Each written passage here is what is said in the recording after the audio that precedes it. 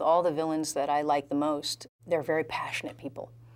And in some ways, Ralph Fiennes, playing Amon Goeth, is, is, a, is a very passionate man. He's somebody who's as passionate about his evil doing and uh, persecuting people and uh, making their lives hard, and uh, as he is about his idea of love. Um, and he goes at love with a pitchfork. You know, that's, he wants love so badly, he takes a pitchfork and tries to get it. And uh, that's what makes him villainous.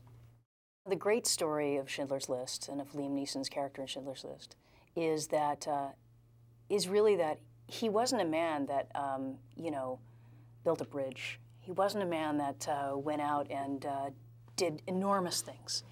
He did the small things that he was capable of, and um, that's what's so great about that story is that you come to realize that if it had been a nation of people that had done one small thing, one small piece of goodwill, um, that the, some of the atrocities of World War II wouldn't have happened.